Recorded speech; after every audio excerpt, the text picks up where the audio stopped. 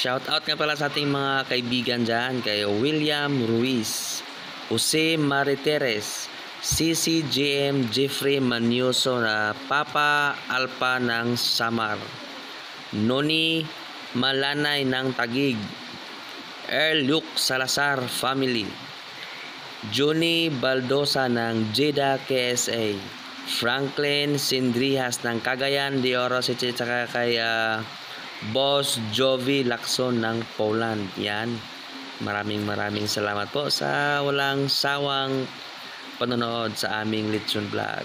Shout out na rin sa ating mga new subscribers dyan, silent viewers, saka sa ating mga minamahal po na OFW around the world. Happy viewing po and uh, keep safe mga boss.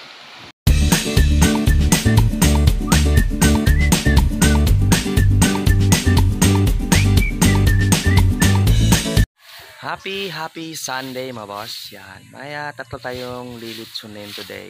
Dalawa this morning, tsaka isa rin ah, this afternoon. Tsaka may dalawang jumbo na belly this afternoon din mga boss. Yan, Boss Kaki. Press na press si Boss Kaki. Ano, Loy? Nakatuna, Loy? Wa, yun. Yun na. Sawa magkamil. Yan. Ito ay salang mga boss ng ah, 9 a.m. Pa mamaya oh, pag-usapan natin 'yon. ah, pag-usapan natin yung ah, ilang oras maluto yung bawat sizes ng baboy mga boss. Sa aming ah, paraan lang po. Magbibigay tayo ng ah, konting idea para sa ating mga kaibigan dyan. Yan, yung kulang namin ngayon isa pag ah, ano na lang mga boss, paglagay ng kinaskas or ah, mga impilya. Yan, yan si Boss Kaki. The Boss Kaki is a large size yan, mga boss. Sa 25 kilos. Ito naman sa atin is a ito yung small. Around uh, 12 to 15 kilos lang po. Yung pinaka small namin na order. Check ah alas 8.30 na at ah, may pahabol na order mga boss. Yan. Another small. Problema is ah, 10.45 daw nila kukunin so wala walang isang oras kailangan litson na pala yan loy. Kayang gagawin natin dyan magic. Pero hahabulin namin ni Kaki yan mga boss. Kailangan ah, 40 minutes. Ready to salang na yan. Problema yung baga yung ano hindi pa masyadong mainit. Kasi tapos na po naming matrabaho yung dalawa yan yung para 9am kala kasi nila ganun lang kadali maglitson mga boss. Para nagprito ng galunggong. Pero naawa naman tayo dahil ah, kakilala naman natin. So kailangan daw ah, ano boss kasi biglaan lang daw. So yan. Pagbigyan natin. At saka mata-challenge ngayon si boss Kaki dyan so time check 9.20 mga boss. 25 minutes na lang at ah, magiging 1 hour na. So yan nakapagtahi na po tayo. So naging tatlo this morning mga boss. Yun si Kaki so ito ay tinanggap ko dahil maliit lang naman. So kayang kaya ko sa kahit 2 hours. To yan mula pagkatay hanggang sa malito na boss. Dahil ah, lulutuin lang natin to ng ano lulutuin lang natin ng ah, 50 minutes yan. After nito salang agad. Yan. Salang rin yung ating pahabol boss. Time check 9.40 8.45 yung pagkatay dyan. So nakuha lang natin na walang isang oras. Yung mga pagmuntar. Mula pagkatay hanggang sa matahi. Madali lang dahil ah, maliit lang yan boss. Nasa 12 to 15 kilos. Kaki pulang pula na.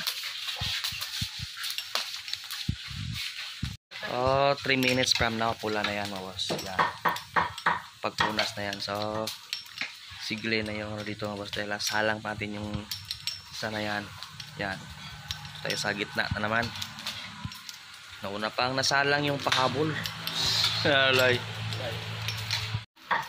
yan sa gitna na naman tayo awas Yan, Glenn Tolindo, relax lang.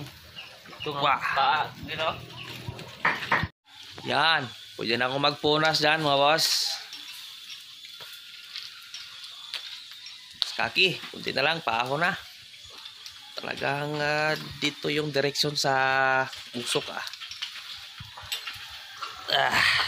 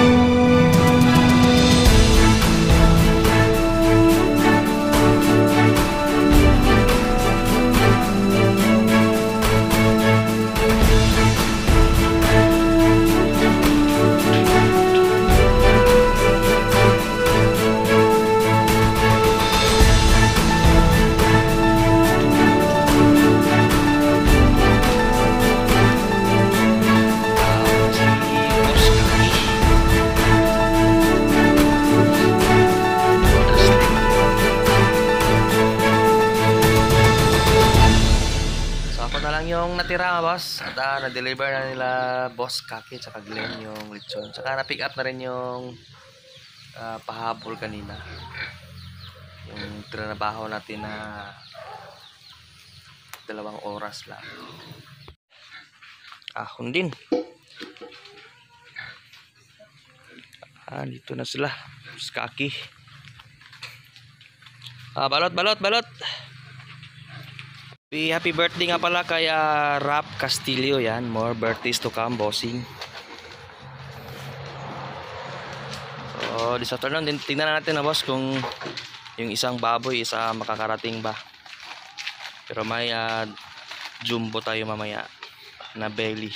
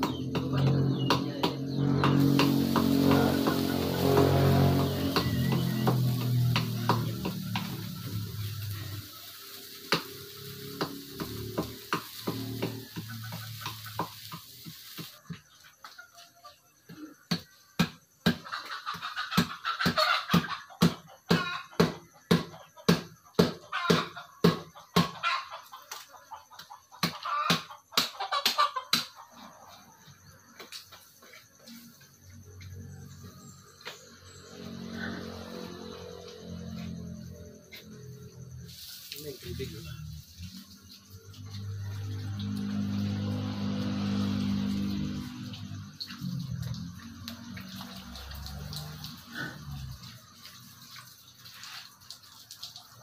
So ito na boss yung ating ah, lilitsunin this afternoon yan. Maganda yung katawan nito nga boss. Bilog na bilog din. So yung ating ah, ipunas sa, sa baboy na ito this afternoon is ah, yung Bear Brand powder boss. Tignan natin kung ano yung magiging resulta po. Kung gaano kapula or ah, light lang ba or ah, dark. So yan tatahiin ko lang to mga boss tapos ah, yan mag punas na tayo ng bear brand dyan so ito yan yung ating bear brand mga boss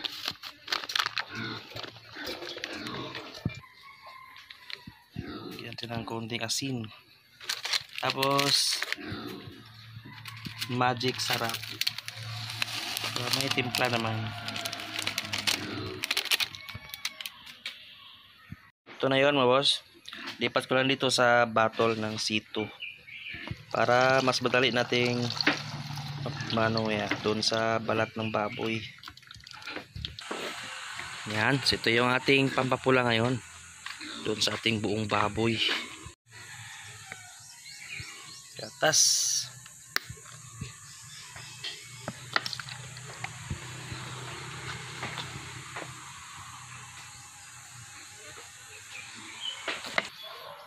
So yan, may natira pa para sa ating ah, jumbo na Bailey mga boss. Parang hindi pinunasan. Yung ating belly. Yan, tapos din. Wala muna tayong, wala muna tayong cameraman ngayon eh, mga boss dahil ah, busy po sa doon sa pagluto ng sabaw saka yung mga laman loob. Ah, ito na po yung ating belly, boss. Naka-roll na po yung ating jumbo. Shout out nga pala kay ah, Alexis Tinunga ng ah, San Roque Baclayon niya. Kanya yung order na yan. Ito naman, kulang na lang ng mga 5 minutes. Tayo ay salang na rin doon sa ating ah, lechon baboy na powdered milk yung ating gamit. Yan, wala pa wala pang nagbago sa itsura ng ating belly, mga boss.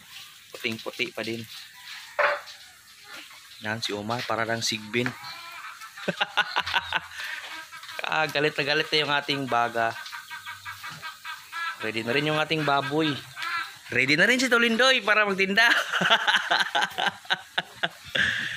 luto na lang. Luto, luto na ba lahat? Mar? Hindi ko lang, Mar. ha?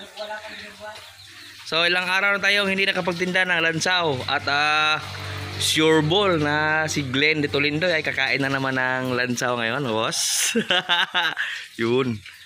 Ready ready na po. Ako na may pasalang na. Yan. Rolling na tayo, mga boss.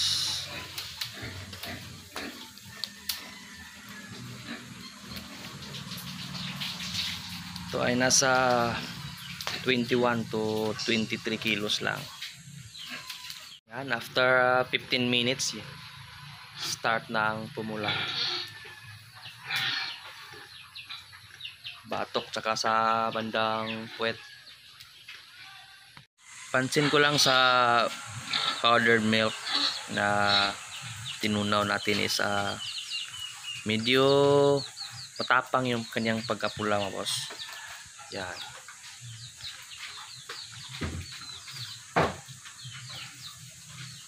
siguro masyadong uh, ispiso or ah, nadamihan natin yung powdered milk tayo ay nakapagpunas na mga boss at ah, super tapang talaga ng kulay yan siguro ah, after 1 hour 1 hour siguro ay mas pupula pa yan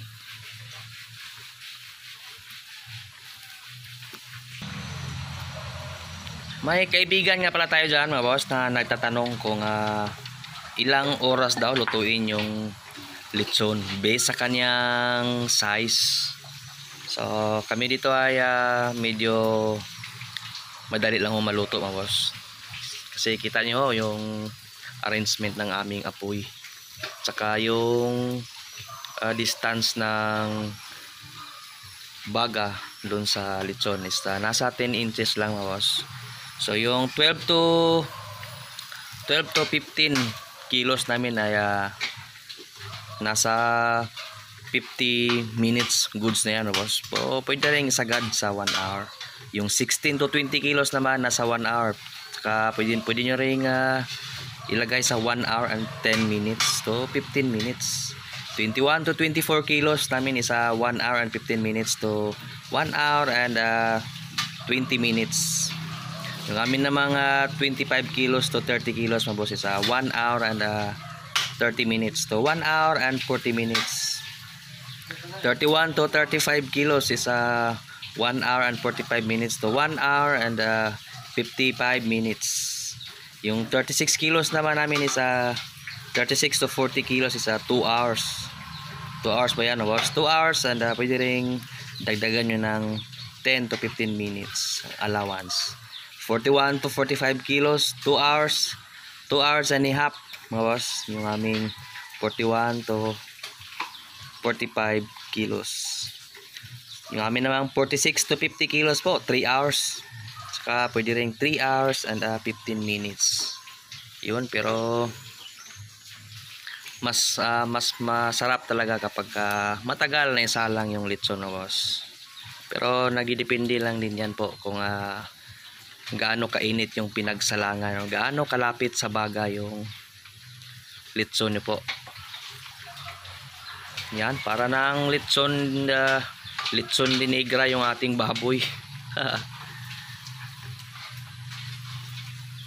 Masyadong tapang talaga yung gatas.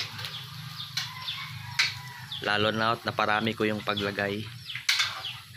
Hapon na at ah, si Omar pala yung ating tindero doon sa seaside tonight. Saka si Boss Kaki, ah, wala dito this afternoon, oh, boss. Kaninang umaga lang siya dito dahil may pasok po yung ating ah, isang litsonero. Sunday kasi ngayon, oh, boss. Andoon sa Sagupaan. Boss Kaki. So, ito nga pala ang litson na to is ah, nasa 21 to 23 kilos, mga boss. So, lulutuin ko lang ito ng 1 hour and 15 minutes to 1 hour and 20 minutes. Yan, goods na yan. Ito nga pala ay ah, nakagulong na ngayon ng ah, 40 minutes mga boss. So, may ano pa tayo, may kalahating oras pa bago maluto yan. At ah, meron ding nagtatanong kung ah, nagbubutas ba daw kami ng litson. Yung pinapalabas ba daw namin yung sabaw ah, habang nakasalang yung baboy. Ah, kami po ay hindi ho nagbubutas po. Dahil ah, isa, isa rin yan sa paraan na para mapadali nating mapalambot yung laman sa loob. Hindi namin tinatapon para yung sabaw na yun, yun yung ah, tutulong na mapadali yung pagkaluto. Yun yung nagpapalambot sa ating lechon, boss. Tinatapon lang namin yan kapag ah, yun, naahaw na po. Pwera na lang po kung yung mismo yung baboy yung talagang nagtatapon dyan. Pag nakahanap siya ng butas sa bandang tiyan. Taray siya gino. Birada na ilansaw yung partner, Mar. Kaon na gitsag lansaw, gyud. Yan, umar boss. Papugi. Nagka-burluloy pa, nagka ano pa ah.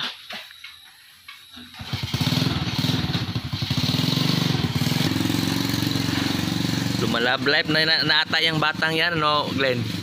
Ha? O ikaw, musta naman yung rabbit sa imong darling? Malaki na yung rabbit. si Rosana mga boss, minsan naging parang aso, naging manok. Naging pusa. Yun. Aho na. Yung ating Lechon dinigra. Muntik na maging dinigra boss. Lagom yun kaayo ba? Yung belly pala tingnan natin. sorry, sorry. Ah. Wow. Ay. Bangil na green. Yun yung ating lechon boss. Dusting muna.